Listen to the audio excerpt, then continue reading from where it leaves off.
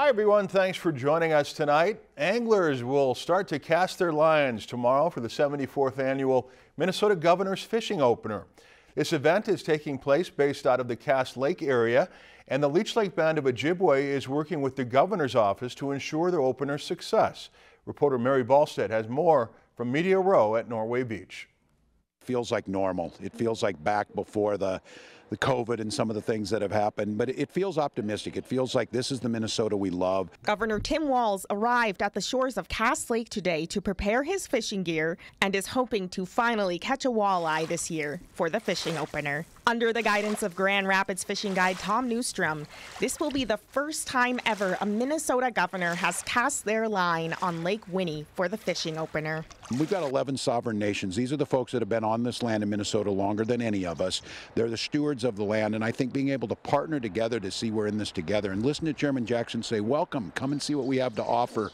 Uh, means a lot. Well, when you understand tribes, you know uh, we you know how important our natural resources are. Is that we continue to you know to, to, keep them pristine here with our waters and you know protecting our sovereign rights and you know just acknowledging you know our clean air and you know you know thinking about our seven grandfather teachings on how we're supposed to take care of everything and respect everything that the Creator shares with us here. And I think the governor's thoughts are are, are very similar. And you get to see what it takes to make something like this happen it's partnerships. We hope that we build a lasting infrastructure, you know, um, that that stays in place long after we're gone. And the Leech Lake Band of Ojibwe, Chairman Jackson, the council.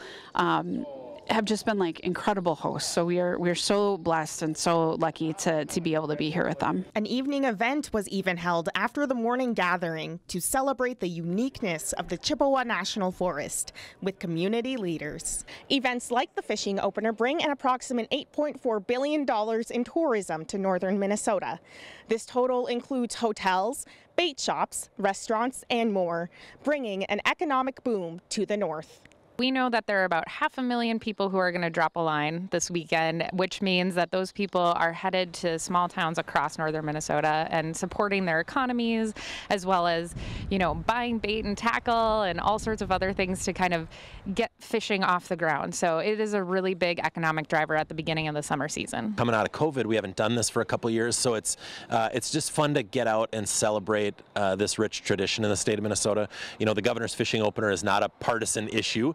Um, and and and I've always I know how important it is to the state and the state's economy and all of the the businesses that are that are involved uh, with the fishing opener. The fishing opener brings different people from all over Minnesota to the Northwoods, promoting the businesses and activities, all while carrying on a long-held tradition. It's so tradition up here. This is. Uh, how would you say, opening a fishing country. That's what this is, you know, and, and people migrate up here and, and it's all about, they've done it with their families for decades and generations and they continue on and, and I think that's the important part is the experience. Reporting from Norway Beach in Cass Lake, I'm Mary Balstead, Lakeland News.